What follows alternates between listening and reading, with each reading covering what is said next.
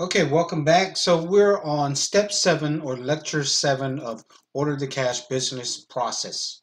So we went over creating sales order, doing the availability check, creation of outbound delivery document, picking and packing, posting goods issue, and transportation. And now we're at billing stage. So billing process. What is billing process? So billing process is basically a final stage for the sales order processing. And this within billing process, it basically helps to generate invoices. And we'll talk about the difference between invoice and billing in a second. And then another thing you can do is create credits and debit memos within billing process or if you need to cancel previously posted billing document, you can also do that during billing process. And all of these information that's created within the billing document is eventually going to go to accounting department. And so we talked about billing document versus invoices. What are the differences?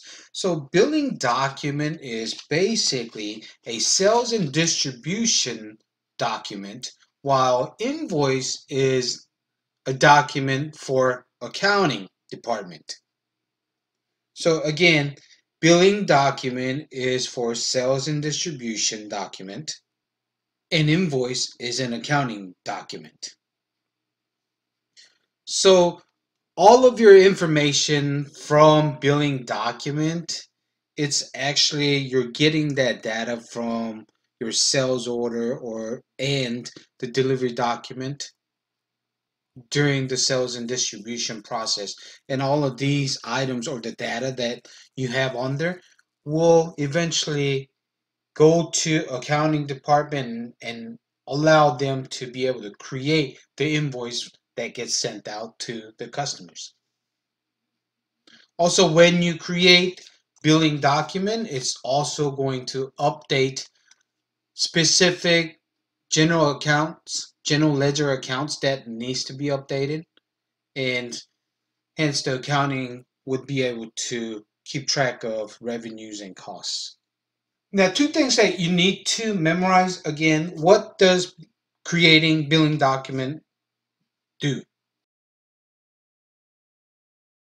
So when you create a billing document, it's going to make a debit posting on customer's receivables account. Again, I'll repeat, debit posting on customer receivables account. Another thing it's going to do is it's going to credit posting on the revenue account. Again, it's going to make a credit posting on revenue account. Now, when the invoice is finally created by the accounting department, and we'll talk about more about invoice and financials once we get to the accounting side, but as far as for this particular process and section, just know that when an accounting department creates an invoice for the customer, they can create one invoice for per delivery or they can also group multiple deliveries into one billing document or one invoice. So if you want to create one invoice for multiple deliveries, some of the things that or the characteristics they have to be shared by these different deliveries and they would have to be the payer has to be same, billing date has to be same and destination country.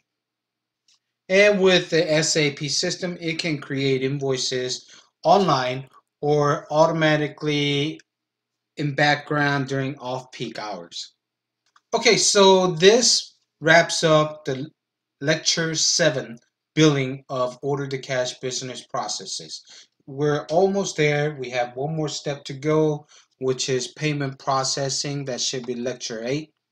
And that should finish up the entire order to cash business processes.